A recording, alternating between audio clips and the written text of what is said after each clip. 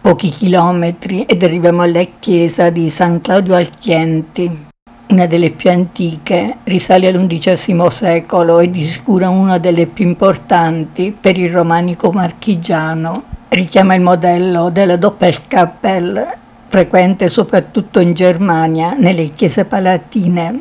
Due torri cilindriche che contengono le scale la fiancheggiano. Le due chiese hanno una particolarità, sia l'inferiore che la superiore hanno la stessa pianta, pianta croce greca iscritta in un quadrato, articolata attorno a quattro pilastri che formano nove campate. Ecco i pilastri del piano inferiore. Il fatto che questo livello non sia interrato esclude l'ipotesi che sia stato costruito come cripta. Nell'abside l'affresco di San Claudio raffigurato con la cazzuola, nella vita era stato uno scultore, uno dei santi quattro coronati, martirizzato all'epoca di Diocleziano. Dall'altro lato è raffigurato San Rocco. Strette buie scale a chiocciolo ci portano su.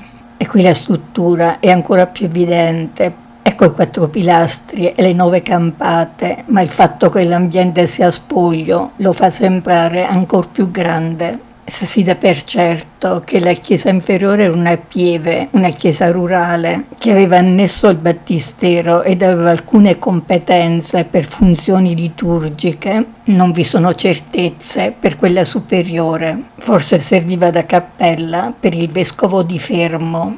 La schiala a chiocciola inserita nel torrione mi riporta giù All'esterno le tre absidi della facciata orientale, la centrale, appena più grande delle altre, mascherano la struttura a due piani. Archetici che lesene percorrono le facciate.